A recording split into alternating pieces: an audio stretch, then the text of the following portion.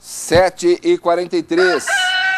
Neste fim de semana, mais de 250 jovens participaram na Cocamar sobre a questão da sucessão familiar no campo. Vamos acompanhar como foi esse encontro. Hoje os jovens saem cedo do sítio para ir para a cidade, estudar e trabalhar. E muitas vezes a sucessão lá na lavoura, ela fica um pouco mais complicada. E por isso a Cocamar traz para a cidade de Maringá 260 jovens de 54 unidades para explicar um pouco mais sobre o que é essa sucessão familiar e como ela funciona. O objetivo principal é aproximar o jovem da cooperativa, que o interesse da cooperativa é por toda a família, não só pelo cooperado, mas a sua esposa e os filhos, já pensando na sucessão. A cooperativa esse ano fez 50 anos, já estamos pensando nos próximos 50 anos. A ideia é mostrar para os jovens que o campo mudou e eles são levados a cuidar da propriedade no futuro. Mostrar que hoje o campo mudou um pouco, né? Aquela realidade que os pais deles enfrentaram já não é o que a gente vê hoje. Quer dizer, o sol, a enxada, essas coisas. Justamente, hoje a gente já não tem mais a enxada.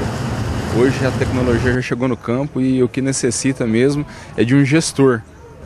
Para o superintendente da Cocamar, José Cícero, a cooperativa faz a sua parte para esclarecer todas as dúvidas dos jovens. A Cocamar ela busca envolver toda a família no negócio do produtor rural, né? Ou seja, o produtor rural ele conduz a sua propriedade, mas também com o envolvimento da sua mulher e dos seus filhos.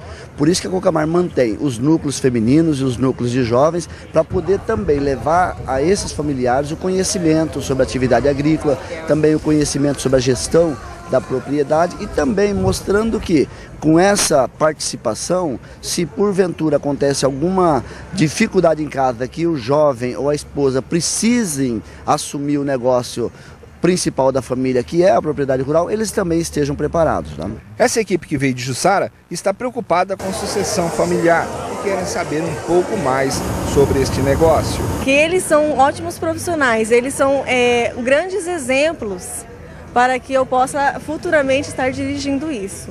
Sempre fui assim visitar minha mãe também tem terra, meu pai, então tipo eles sempre me levaram. Mas você mora na cidade? Moro na cidade, estudo e tipo, mas sempre envolvo a agricultura na minha vida, porque é o que a base da minha sustentação, de onde eu sempre vivi e cresci. Eu acho bem importante porque é o que a gente normalmente vai herdar, a gente tem que saber como cuidar delas, que a Cocamar envolve bastante também. E é uma ótima cooperativa para. As pessoas têm que estar realmente todas interligadas, porque as pessoas vão morrendo e alguém tem que ir assumindo. E vocês têm essa consciência? Sim. Eu acho assim que a gente tem que estar sempre por dentro, com os pais, ajudando, para conseguir alguma coisa no futuro.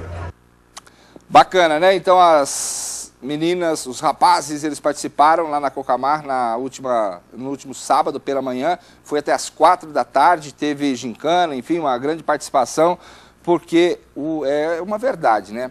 Os pais, eles estão lá no campo, na lavoura, produzindo soja, trigo, milho, mas os jovens, eles vão para a cidade e eles vão morar na cidade, estudar na cidade, né? E depois ir lá no campo, como é que fica, né? Então tem essa preocupação a cooperativa em toda a região norte e noroeste de dar esse treinamento e passar essa responsabilidade para esses jovens. 7 horas e 47 minutos.